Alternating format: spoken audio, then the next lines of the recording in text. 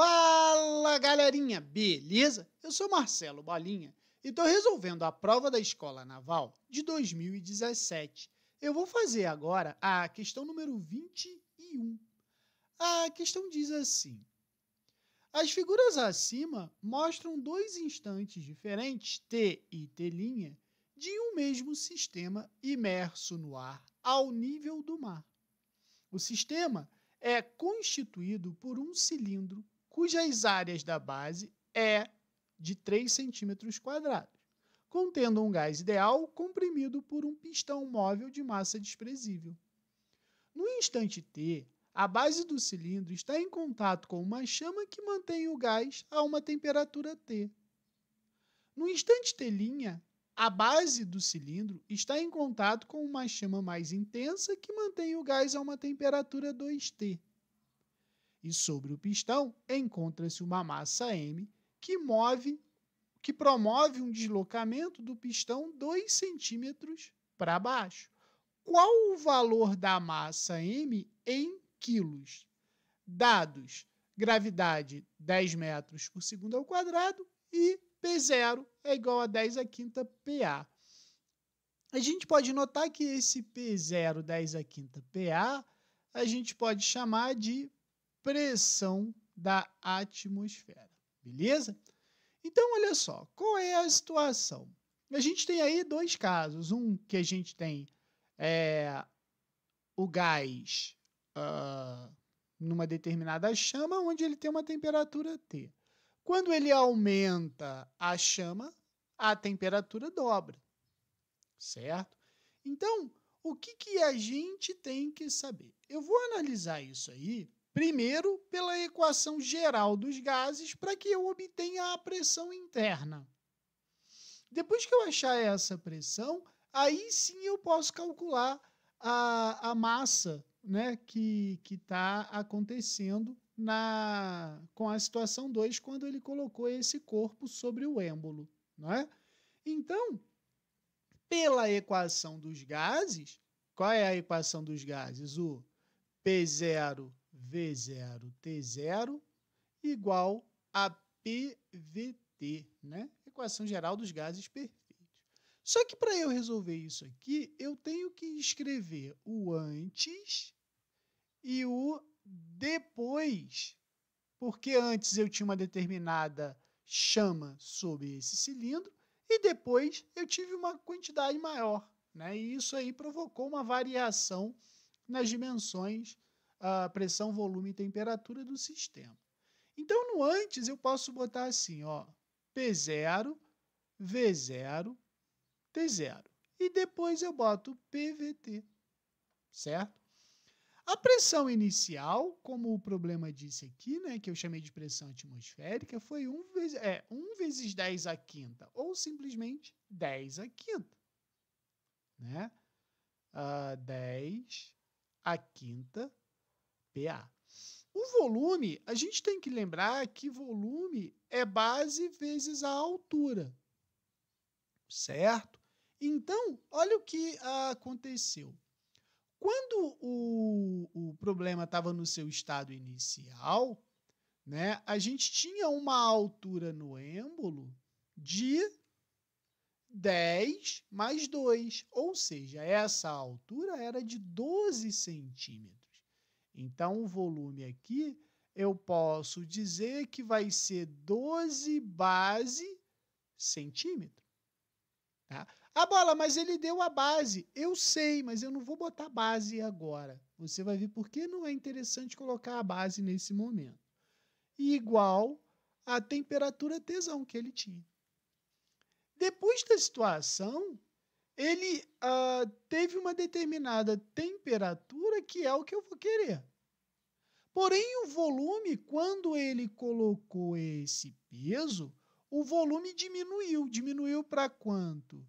Para essa altura. Essa altura tem o quê? 10 centímetros. Então, olha o que eu vou fazer. Base vezes 10 centímetros. E a temperatura passou a ser 2 tesão. Então, eu consigo agora descobrir qual foi a pressão que estava aqui nessa situação depois que ele colocou a massa.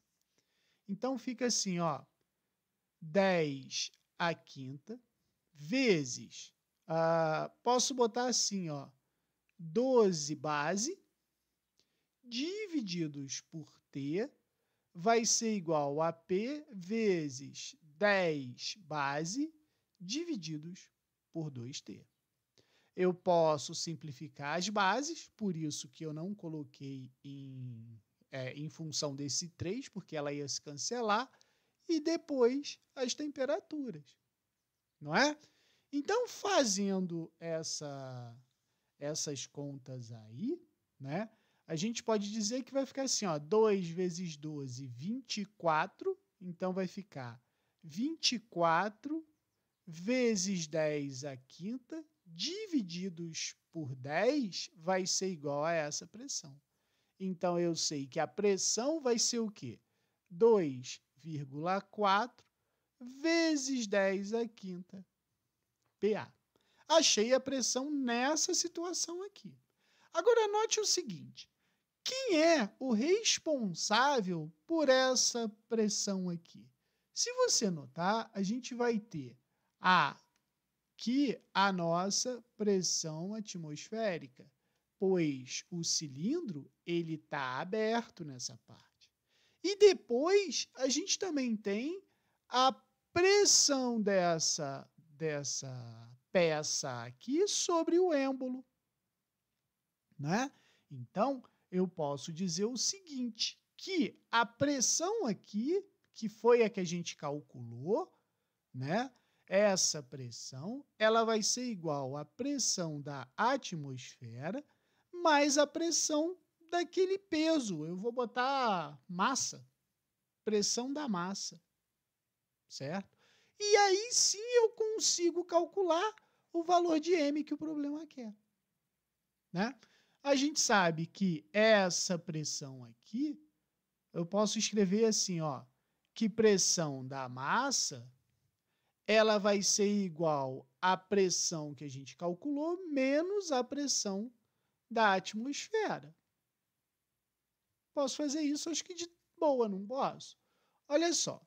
Então, a pressão da massa, ela vai ser a pressão que a gente achou, que é 2,4 vezes 10 a quinta, menos 10 a quinta eu posso escrever assim, ó, como 1 vezes 10 a quinta. Então, eu sei que a pressão da massa ela vai ser igual a 2,4 menos 1 vai ser 1,4 vezes 10 a quinta PA. Então, agora que eu calculei a pressão da massa, eu vou calcular a massa. De que forma eu vou fazer isso? Olha só. É, a gente não sabe que pressão é igual a força sobre a área, no nosso caso aqui, vai ser o quê? A força peso, não é? E força peso a gente sabe que é mg. Então, juntando essas duas, eu sei que a pressão da massa ela vai ser igual a quem? mg sobre a área. Certo? Vamos botar aqui como dados.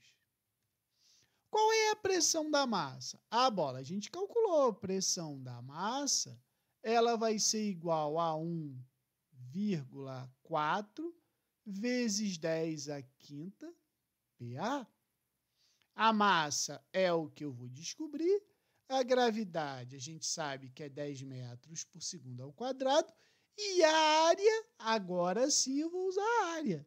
A área é de 3 centímetros quadrados. Então, a área é de 3 centímetros quadrados. Beleza? Só que a gente tem que ter um cuidado. Aqui está em metro, aqui está em centímetro. Então, eu tenho que passar isso aí para metro quadrado. E, bola, eu não sei fazer isso não. Sabe sim, cara. Presta atenção. Eu vou escrever assim, ó. 3. Uh, veja bem.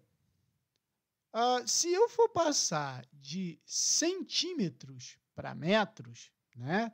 Eu posso dizer assim, ó, um metro tem 100 centímetros, certo?